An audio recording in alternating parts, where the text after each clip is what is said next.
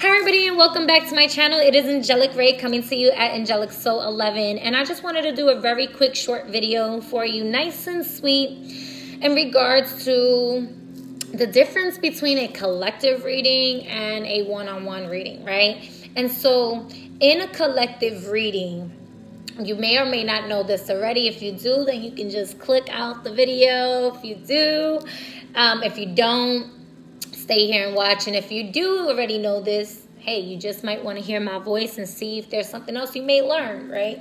It is what it is. Anyway, moving forward. In a general collective reading, I may pick up things that are happening on a grander scale. I may pick up things that are happening on a micro scale. I may pick up one person's story. I may pick up everybody's story in different angles and ways, right? And so you know your story. It is very general, which means it can apply to uh, your relationships with your family, with your significant other, with your um, eating habits, with your thinking, with whatever type of relationships it is that you are um, that you have on that board. Okay, and it, it could be the relationships you have at work or with work as well, right? With money, with foundation, so home, right? Um, many different realms and avenues is very general. Versus when it's a one on one reading, my energy is more focused and directed into a certain energetic signature, which you are. And it also brings forth any energy that may be surrounding you, that you connect with. But it's going to be the message in which spirit wants for you. And many of you may know me already from different groups on Facebook and Instagram, okay? Have seen me live, know me in person, had had experiences with me um, from the past versus now in many different ways, okay? So, um, for those of you that know me can see and know how I work. But for those of you that don't, I can pick up a message for you that you didn't even want to really know about or you weren't really addressing and spirit gonna be a dry ass snitch as i like to call it and be like well this is really what you really need to pay attention to and what you really need to look at because this ball this bubble right here needs some nurturement or needs some more energy or more light or whatever the case may be so that you can um, spread it out or do what you will with it or break it up or whatever, right?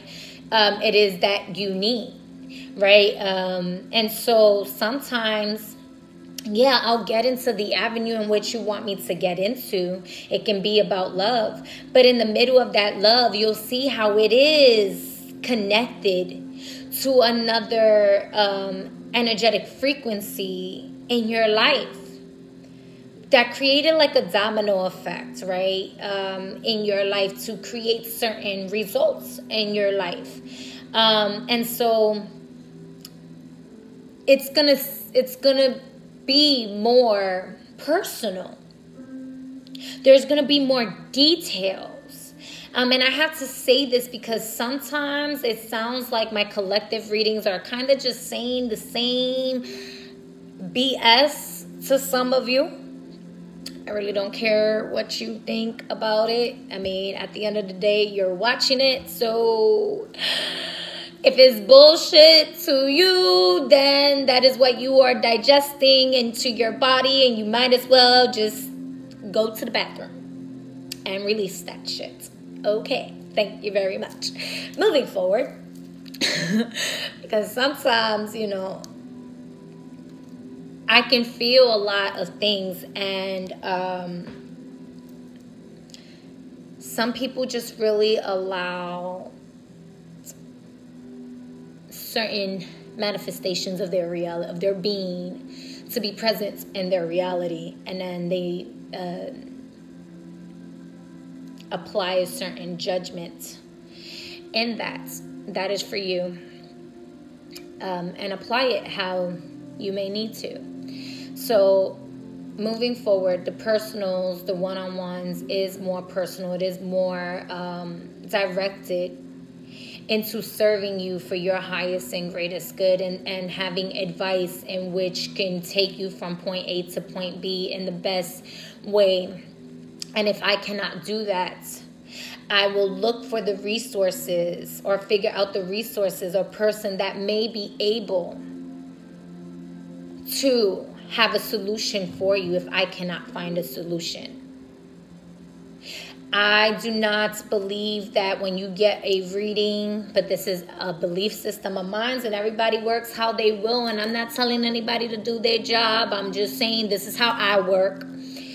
That when someone is coming to me um, for one on one, there is, and whether they get some confirmation or they feel validated or whatever the case may be, or they learn something new, they're coming because at some area in their life they whether they're getting confirmation they're getting confirmation in what the message it is that they're getting is accurate but they may not necessarily know how to move forward. And i always want you to think for yourself. I always want you to use your discernment and choose the path you want for yourself but I can also be a divine channel to see what divine messages and advice you can have as a possible avenue for you.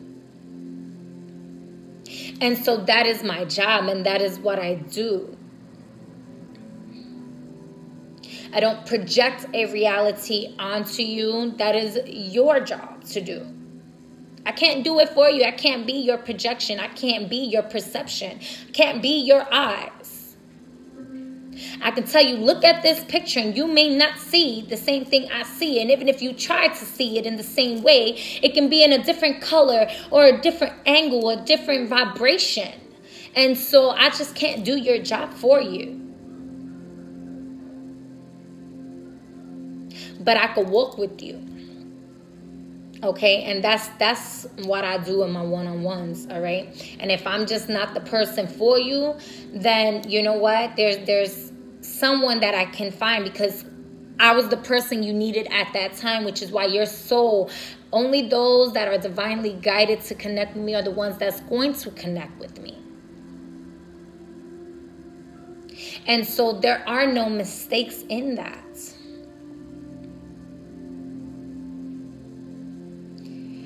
The way that I am doesn't resonate with everyone. And sometimes I may have to be like, yo, I'm not the one for you, but I definitely know somebody that can be the one for you.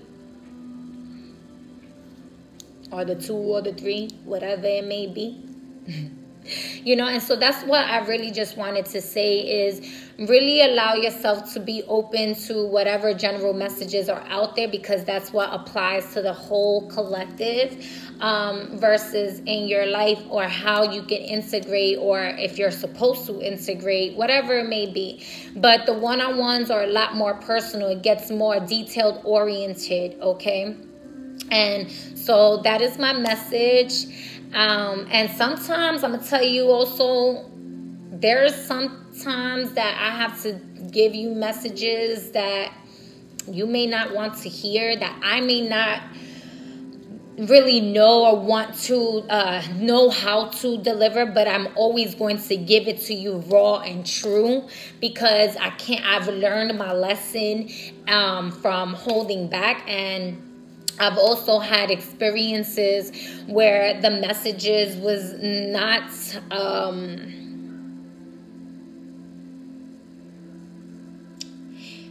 how do I say it? It's always in good light because you learn, right? Um,